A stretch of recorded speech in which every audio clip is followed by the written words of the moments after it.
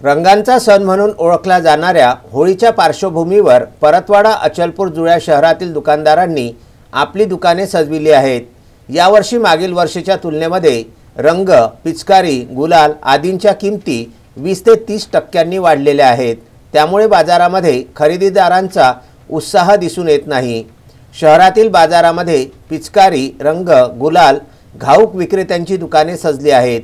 होळीचे साहित्य नागपूर व दिल्लीवरून येतं. यावर्षीच्या उत्सवामध्ये चांगला व्यवसाय होईल या आशेने छोट्या व्यावसायिकांनी होळीचे सर्व सामान दुकानामध्ये भरले. मात्र बाजारातील खरेदीदारांमध्ये उत्साह दिसून येत नाही.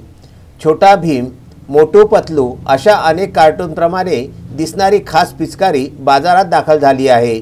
यावर्षी पहिल्यांदाच ही पिचकारी दाखल झाल्याने या पिचकारीला मोठी मागणी दिसत आहे. याशिवाय पिचकारीचे अनेक प्रकार उपलब्ध आहे. लहानांपासून मोठ्यांना भुरळ घालतील अशा अनेक प्रकारच्या पिचकाऱ्या बाजारामध्ये उपलब्ध आहे.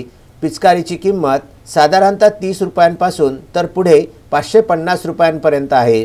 लहान मुले आणि प्रौढांसाठी पिचकारीचे श्रोअर रंगांपासून बचाव करणारे मुखवटे विविध प्रकार उपलब्ध असून यामध्ये पगडी टोपी बंदुकीसारखी दिसणारी पिचकारी सेंचुरी कलर हे विशेष आकर्षण आहे.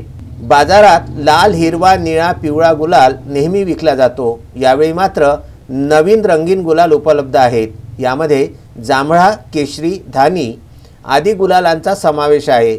आता ग्राहक नवीन रंगांच्या गुलालाची मागणी करीत असल्याचे विक्रेते सांगतात. त्यांची मागणी लक्षात घेऊन नवीन रंगीत गुलाल मागविण्यात आले आहे. त्वचेला हानिकारक गुलाल अनेकजण टाळत आहे. अशा लोकांसाठी हर्बल गुलालसुद्धा बाजारामध्ये उपलब्ध आहे. होळीचा रंग खेळल्यानंतर व गुलालाची उधळण केल्यानंतर लहान मुलांना साखरेपासून बनविलेली गाठी देण्याची प्रथा आहे. विशेषतः होळीच्या दिवशी गाठीला अधिक महत्त्व असते. त्यामुळे बाजारातील अनेक दुकानांमध्ये खरेदीदारांचे लक्ष वेधून घेणाऱ्या गाठ्या उपलब्ध आहेत. मात्र या गोड गाठ्यांवरही महागाईचा प्रभाव दिसून येत आहे. Vidarbha news bureau Amravati.